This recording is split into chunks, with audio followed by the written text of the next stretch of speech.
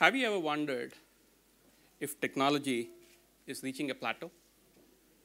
Have you ever wondered if Moore's law is going to continue to hold true? Moore's law is defined as a process, uh, is defined as when the number of transistors on a chip are going to double in every two years. For, for me, Moore's law means technology evo evolves every two years. I have wondered, and as a marketer, I want to understand how do you keep pace of technology? How do you see how technology evolves? Cool. What do marketers do?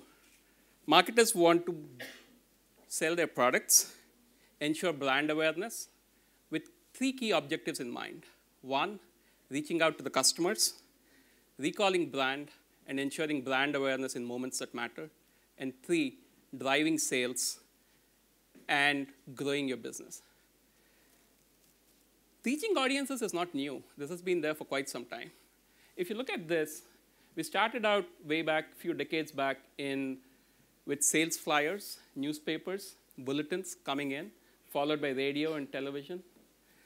Newspapers, I remember weekend newspapers being twice as big and twice as expensive, primarily because they had insets of flyers from your local grocery store, from your supermarket, and from any seasonal events that might come about. And you would use them, clip coupons of them. People used to clip coupons from them and use them to actually go and trade in for discounts that might come about.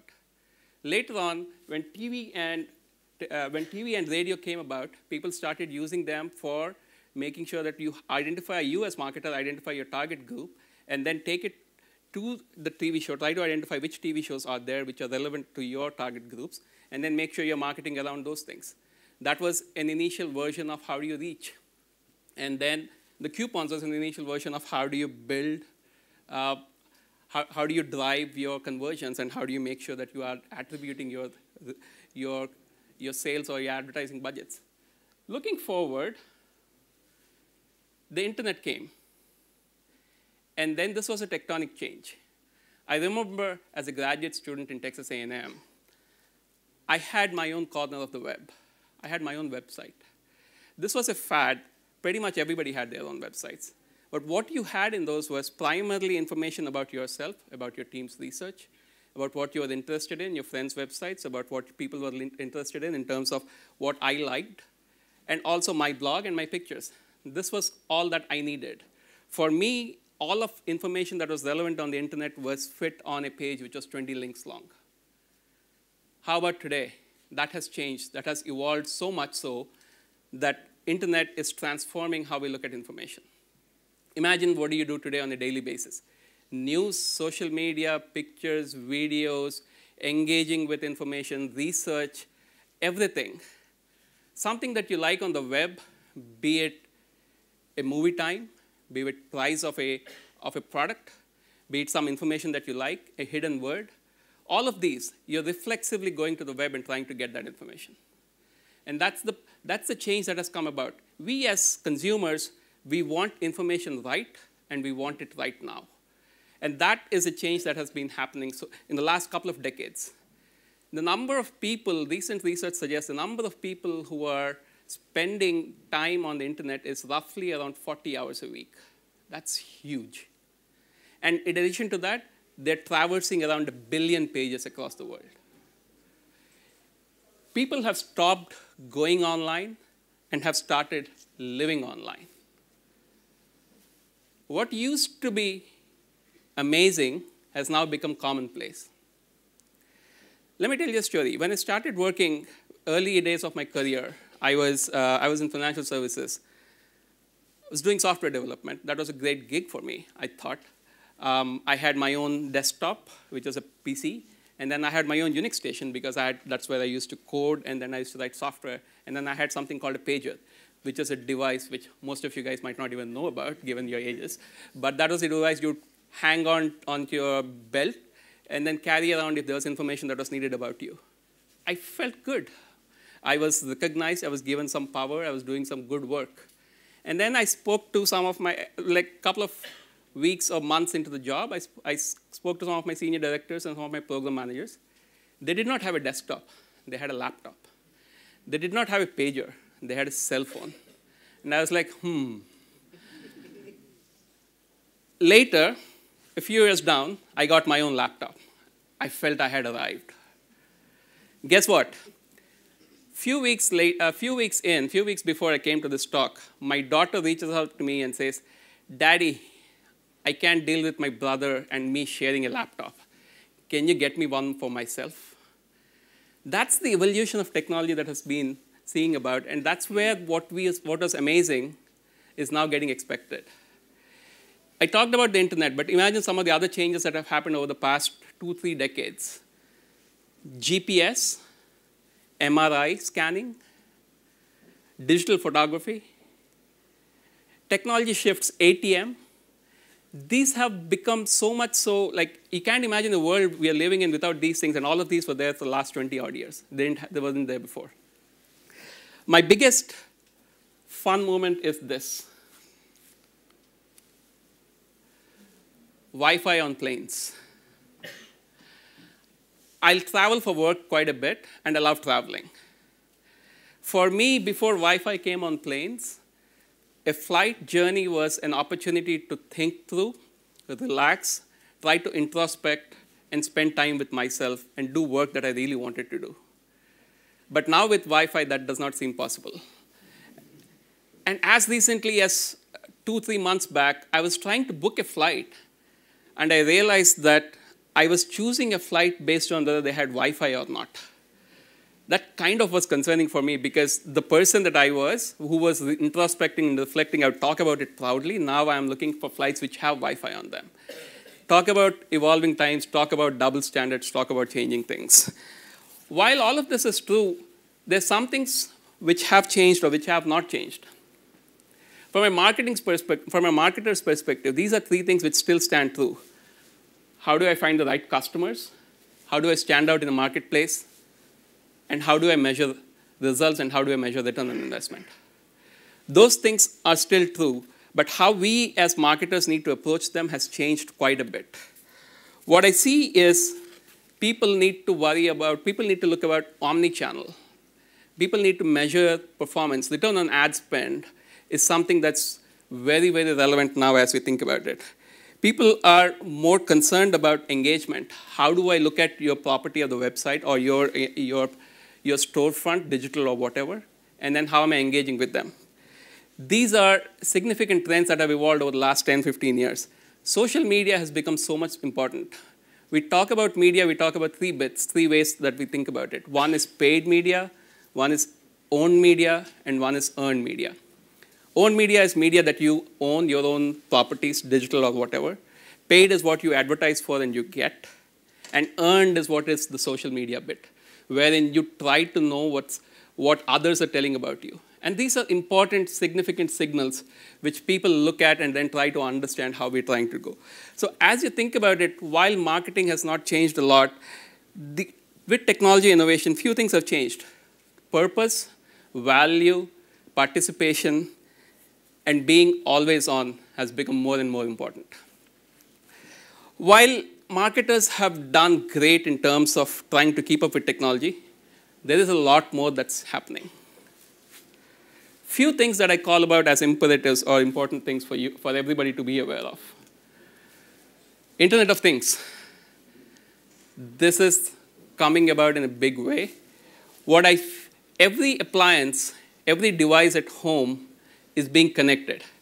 Think about your thermostats, your radios, your refrigerators, your televisions, your, your cars. All of these are now connected online. What does that do to you? Primarily, it helps you integrate with everything. You, you as you're able to look at information and then figure out whether you're starting a journey on one, one device and then continuing to a different device. And then you're able to look at how does customer behavior change how are people looking at these devices in different ways? Intel predicts that in the next two, three years, there will be 200 odd connected devices in the world. What does that mean? That's roughly around 26 devices, connected devices per person. Staggering. This is the first imperative that we as marketers need to worry about as we think of technology. Not worry about, be aware of. While IoT and devices are fun, people, geeks, if you will, would create them, folks in Silicon Valley or Bangalore are creating those devices, are people actually using them? This is an interesting trend chart that I found. Primarily talks about adoption curves of people using technology over the past 100 odd years. The last line on, on, my, on your left is what telephone and electricity are. And they took a good part of around 70, 80 odd years to get to anywhere close to 80, 90% adoption. And the rightmost line there is the internet. And it's literally a vertical line. Basically says the rate of adoption that consumers are doing is very, very fast and much higher. Put it in layman's terms, radio took 38 years to get to 50 million users. Facebook and social media, any guesses? Less than a year to get to 50 million users. So people are adopting to technology much faster than you would assume. And what does this do? This set of connected devices, as well as adoption, leads to an explosion of data. Big data driving big impact. As you can see, quite a few businesses, quite a few businesses are looking at big data to help them drive economic value. Basically driven by three things. One, the real-time nature of data that you get. Basically, you are able to get data on a much real, much quicker basis, not necessarily months, but days and hours. The scale at which you get data. When you did market research, or when we did market research, it took us close to surveys, and then you would get a data sample set of around 20 or 30, and then you extrapolate it out. Now that problem doesn't exist. You're doing the other way around. You have a data sample set, and you're thin slicing till you get to information that you want to look at. And the third bit is intent. You're able to quickly predict what is the user doing very much based on these big data. And using that, using this aggregated view of real-time data with intent, with scale that you have, you have a rich view of what is the customer's journey going to look like. And you're able to customize nuance and then change this. This is the third imperative that's going to come about pretty soon. The last one from my perspective, machine learning, artificial intelligence. We are at an inflection point. Things are changing so fast that we are not even sure as to how we're going to change. We talk about a mobile world, which is what we live in today. Pretty soon, we're going to move to an AI-first world. What does that mean? All the data all the signals that you have, it's going to be really hard for any marketer to think of coming up with a digital strategy with this kind of data set that you have. You need machines to actually understand machines and come up with strategies. Thousands of signals, multiples of, uh, multiples of sources of data, you're trying to crunch them and then say, okay, what is the right insight that I want? And that's not necessarily possible with just us thinking about it. From a, uh, from a human perspective, we need machines to help us. On the programmatic side, where I work, we actually look at using not just first-party data, but third-party data, and then thin slicing it, and then trying to come up with the right audience segment, which is going to help us reach whom we are trying to reach. In addition to it, while that's happening, mobile we're not done yet. We talk about moments that matter, which is trying to understand the customer's life journey in a mobile, in, mobile environment. And then you're trying to look at where is it, what is he doing, and then trying to understand how can we help him in that journey. And that's far from being done. The transformation is on, but still a big journey. The third one is the immersive ecosystem. As you guys are aware, as we think of these network connected devices, we are going to get into a networked home. In that, pretty much ambient technology is going to rule us. You are no longer going to talk about, with voice recognition getting better, you're not necessarily going to talk about how do I interface with device X versus device Y. They start speaking to each other. And then you are, you're just trying to understand how, what is the interplay of some of these devices. Give you an example. Let's assume you get into your car. Your car is going to read your data from your, from your cell phone about your calendar and know where you want to go and start using the GPS on the phone, on the, on the car to actually program to go where it's going to go. And if it were a self-driving car or an autonomous car, it's pretty much going to go by itself. That's the power of in, uh, immersive technology that I'm talking about. Pretty interesting, pretty uh, interesting times for us as marketers. The other one on the same lines, if you give an example, is let's assume you are listening to some podcast, video, music, whatever. As you walk into your house, it's just going to switch from your smartphone device to some, some other connected device in the house and start playing it from either from your stereo system or from your, any of your boxes. This number about queries, this is pretty real. Our voice technologies have, gotten, have gotten so much better that people are using uh, voice to search as opposed to typing in. Imagine from an I.O. perspective, we only had keyboards for the longest time to actually interface. Even Blackberries or Bluetooth, whatever it was, is still, still typing in. But now once you start speaking or once you start looking at various other signals to enter, uh, do an I.O. better, the immersive nature of technology gets so much more better.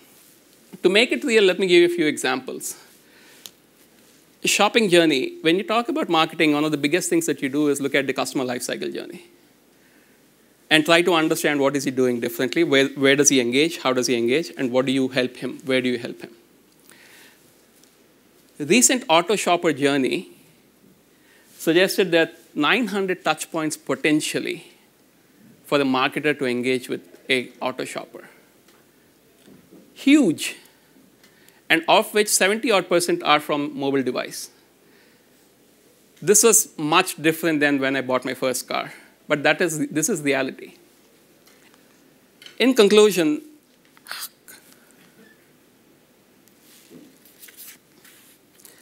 increase in connected devices, my first imperative, followed by adoption of users, the customer adoption which is going so big, and then these both churning out data in, in, in terabytes and huge amounts of data, combined with machine learning, we are going to harness this technology to actually make significant progress over the next couple of years. And we as marketers, we need to evolve.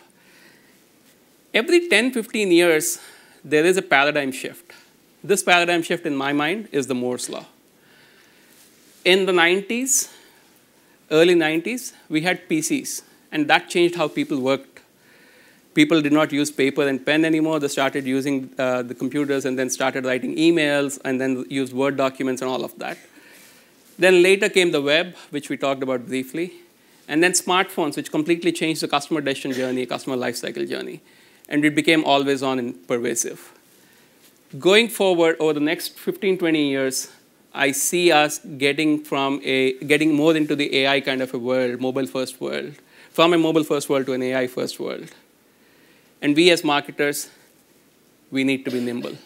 Thank you very much.